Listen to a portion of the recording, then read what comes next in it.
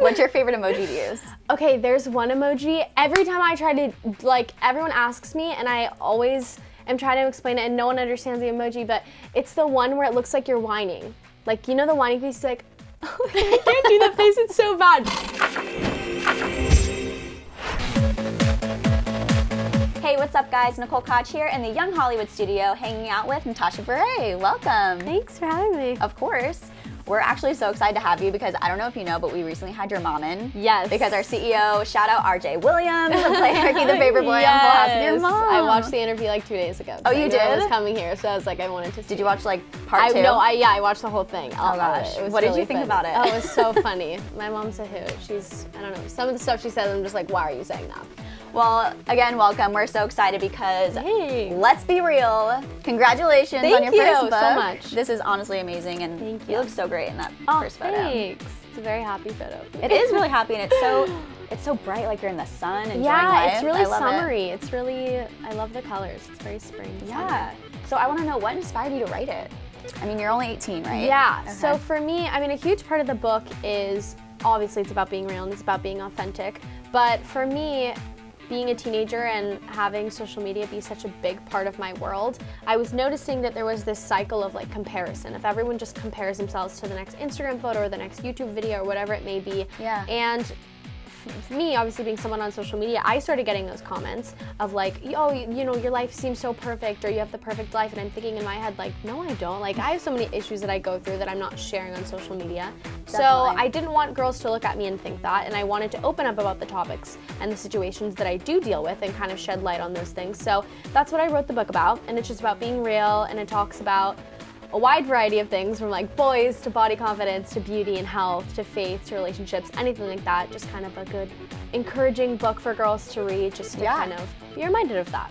Um, okay, so because your book is called Let's Be Real, we want to play a quick game with you. Yes. Okay, so and it's about dating or oh, relationships gosh. because our viewers love to talk about that stuff. Me too. Also, well, good. yeah. So do I. I, love mean, that. Who doesn't love to talk about boys? I mean, it can't really get old ever. No, right? no, Even if you're like never, 80, never. there's a cute old man walking down Never. the street. You know?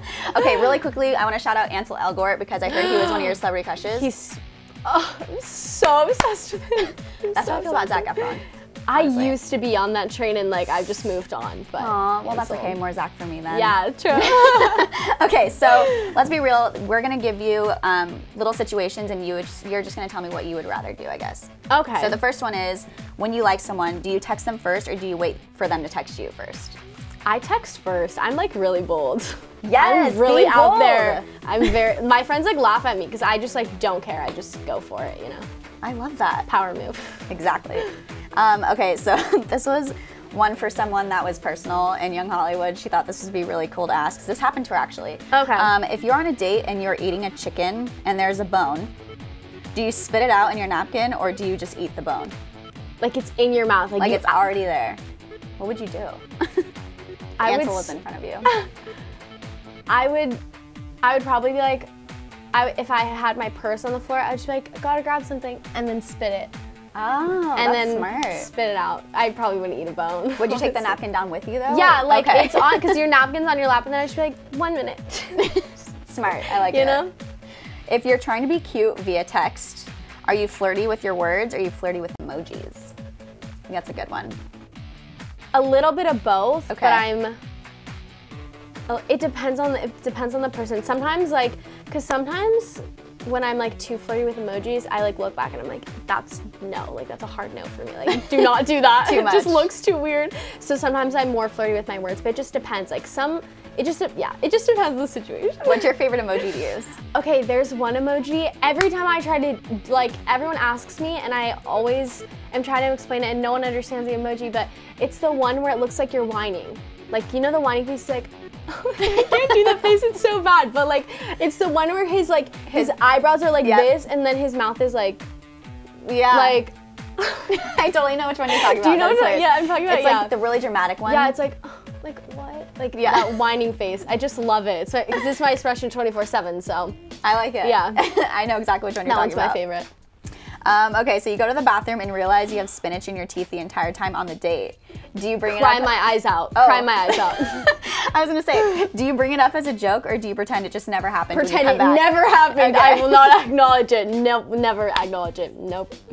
See, I would like call the guy out. I'd be like, I thought we were on some like level here where you would just be honest. well, it me." depends. Is it like a first date or you've been dating this guy for a while? See, I would just do it no matter what. No, maybe see, that's I just wouldn't. me. I'm like, no, I can't. I'm too embarrassed. Okay, when your crush keeps rescheduling or not responding, do you call them out on it or do you just move on? I do both at the same time. I call them out and then I'm like, bye. Oh yeah. I feel like that's another power move. Yeah. I'm like so yeah. I'm just very out there. Like you just gotta you just gotta say it. Just gotta do it. You know. Definitely. And final one, you are about to go on a first date.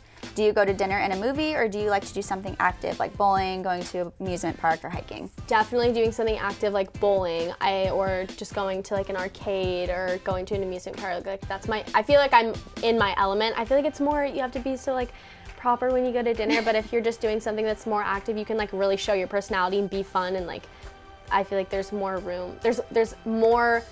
There's less room to be awkward if you're Yeah. just sitting at dinner because then it's like, what if it's not going well? Then you True. then you're just you're just kind of stuck there at dinner. But if you do something active, it's like there might be other people around. There might be you know stuff to talk about other than like your fork and knife. So maybe that. That's what I feel about the movie date. You know, like why do people go on Why do people go on? Yeah, I was gonna say on first dates? You're no not offense to anyone talking. that does, but I just don't personally understand No, because I not- want to talk to the no. person. You know, You're just not talking. You're watching the movie. like I'll go to the movie, but I go to the movie with like my brothers. Like I don't go to the movies. right? Like, exactly. Yeah. So one last time to bring it back to your book. Yes. If you can end this interview on your favorite, maybe inspirational quote that you can leave for all of our young Hollywood followers, what would you say? Um, my big thing is to strive to be the best version of yourself that you can be. I think that everyone always has like an idol or someone that they look up to, but they, they can never be that person exactly. That person was made uniquely, and everyone was made so special, and everyone has certain things about them that no one else has. And I think to embrace that and to um, work on making yourself the best version of, that you can be is so important. And so I think take those things that make you special and make you unique and use them to your advantage.